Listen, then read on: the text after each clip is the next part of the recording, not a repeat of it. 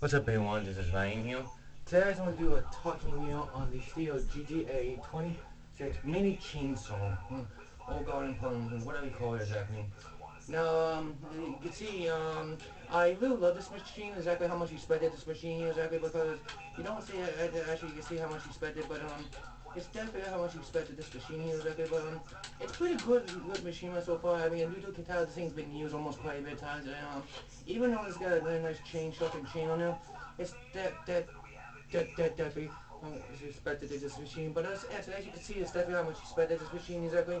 But um, but you can see how much you spent this machine exactly because um, it's really how much you spent this machine exactly because you didn't know how you spent it. But um, exactly how you see about it exactly. But this is a very nice looking machine, my opinion. But um, it's definitely how much you spent this machine exactly because you don't really know how you spent it. But um, this is a pretty nice looking chainsaw in my opinion. You can tell been used almost you can see. But um, you, you see, but this is a very nice looking chainsaw in my opinion. Hope we use it again this month.